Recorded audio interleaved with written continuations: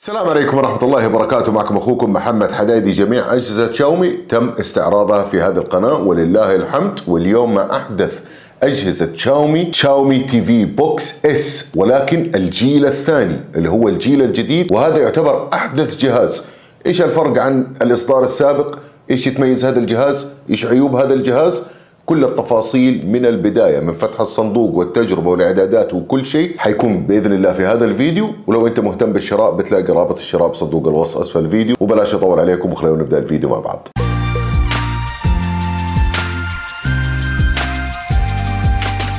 طيب يا شباب نبدأ نقول بسم الله. هذه علبة الجهاز ويجي عليه هنا مكتوب الصغير جدا اللي هو جن 2 اللي هو الإصدار الثاني. والآن بنتكلم على كافة التفاصيل وش يفرق عن الإصدار الأول. فخلينا نفتح العلبة مع بعض ونشوف ما بداخل هذه العلبة. ياتي الجهاز بكل تأكيد وعليه شعار شاومي بالأعلى. عندنا هنا بتكون في لمبة صغيرة بالأبيض تشتغل. لما نشبكه طبعا على الكهرباء. عندنا من الخلف منفذ السماعات الثلاثة ونص. HDMI وهنا الفرق عن الإصدار الأول. الإصدار الأول كان 2.0 هنا 2.1 وهذا تغيير جدا كبير. وعندنا ال USB اللي هو type A 2.0 وعندنا منفذ الطاقة. عندنا كذلك من الجنب هنا مكتوب HDMI عندنا أيضا دفتر دليل التعليمات والبدء السريع يدعم جميع اللغات ومنهم اللغة العربية. كذلك كيبل ال HDMI فيش الكهرباء للأسف ثنائي وصلني. وعندنا remote control وبدون بطارية. حتحتاج إلى بطارية اثنين صغار. عندنا هنا الريموت صار أطول بشيء خفيف وأنحف وأخف من الجيل السابق. وأضافوا عدة إزرار. عندنا هنا إزرار التشغيل والإيقاف. عندنا مساعد جوجل. الأسهم للتحرك والتنقلات. زر الرجوع. زر الصفحة الرئيسية.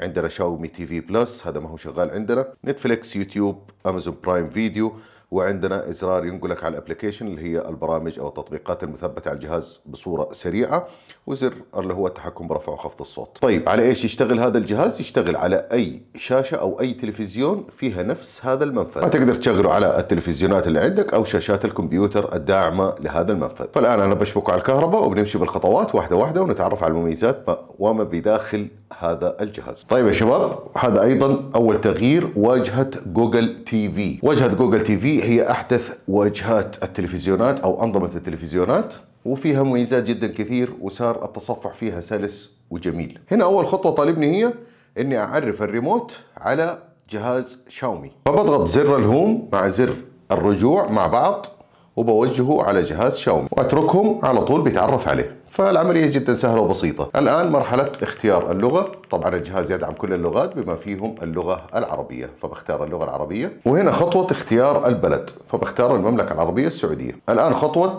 ربط شبكة الواي فاي لأنه ما في منفذ إيثرنت.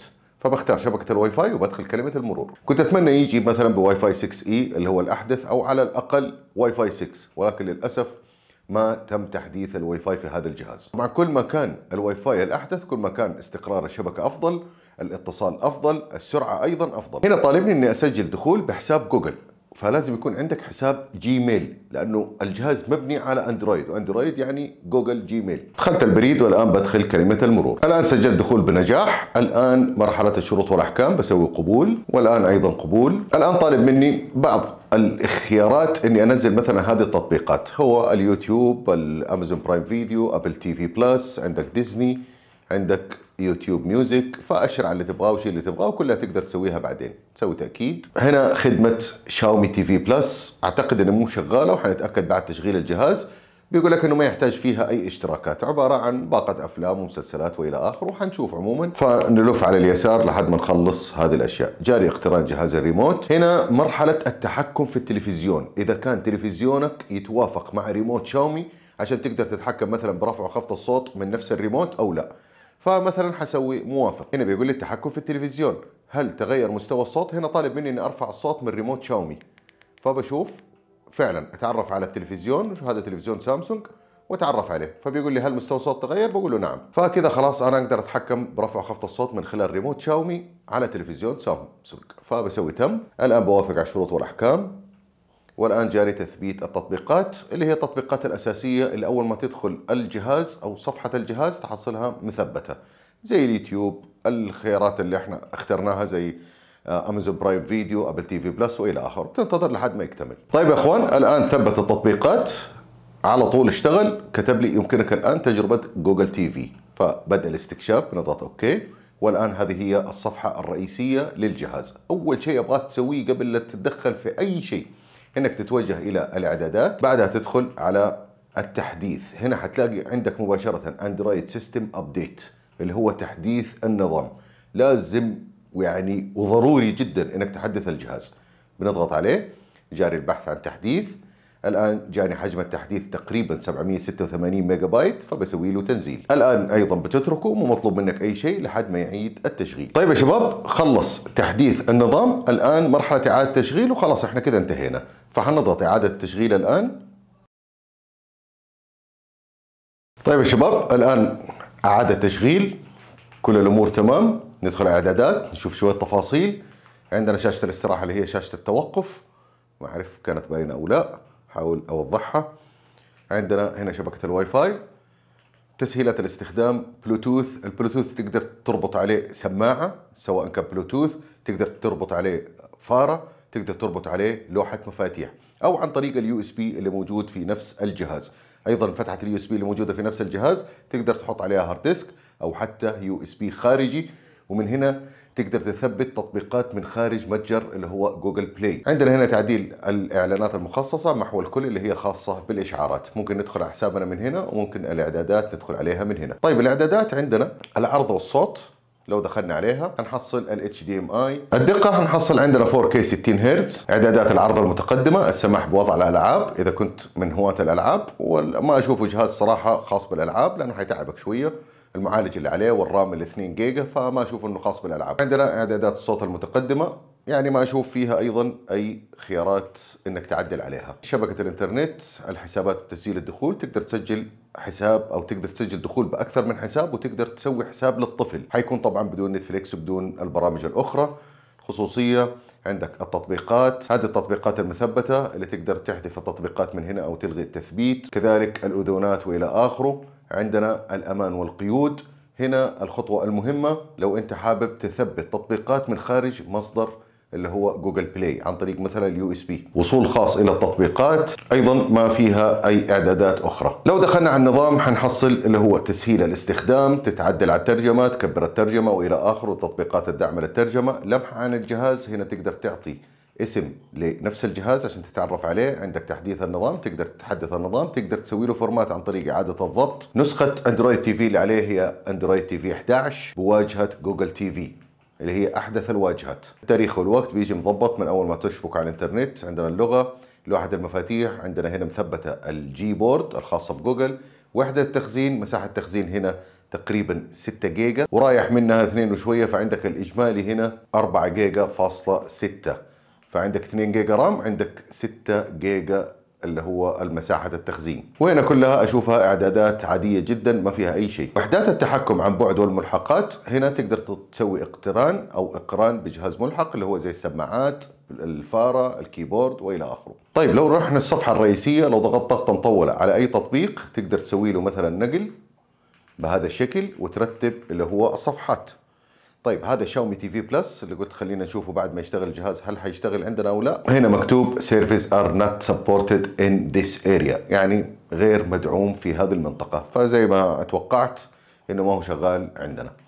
فحنسوي exit وبنخرج على الصفحة الرئيسية. عندك أيضا تطبيق هنا اسمه PatchWall أيضا تابع لل Xiaomi TV Plus وأيضا مو شغال في منطقتنا. عموما نرجع للتطبيقات العادية Netflix YouTube Disney Plus Prime Video Apple TV Plus YouTube Music media player هذا مشغل الوسائط. لو أنت حاطط على USB أو hard disk شابكه على الجهاز تقدر تشغل جميع الوسائط صور فيديوهات صوتيات. هنا عندنا أيقونة ال mirror. أيقونة ال mirror واللي هي انعكاس الجوال. الآيفون يحتاج إلى برنامج.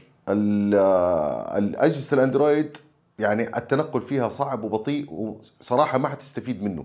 فلا تعتبر إنه هذه الميزة موجودة في هذا الجهاز. جهاز Xiaomi Box أفضل من ال stick مليون مرة لأنه مسألة الحرارة في ال stick مزعجة وتخليه يأثر على الجهاز ومعالج الجهاز بالتالي يقعد يفصل من الإنترنت وحيأثر عليك أيضا في المشاهدة. لكن ال box هو أفضل الخيارات.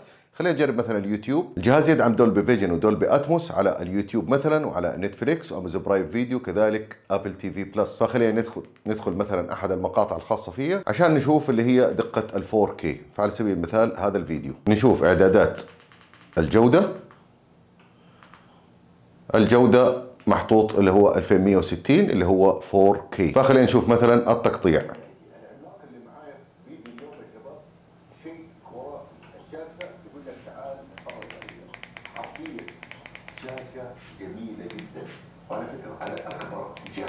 لوحي بشاشة دايناميك أمري 2 X وأول جهاز لوحي من سامسونج ومن غير سامسونج مقاوم للماء والغبار بمعيار IP 68 أنت متخيل؟ يعني تنزل فيه الموية لعمق لتر ونص لمدة نص ساعة. وهذا المعيار عادة ما تشوفه غير في الهواتف.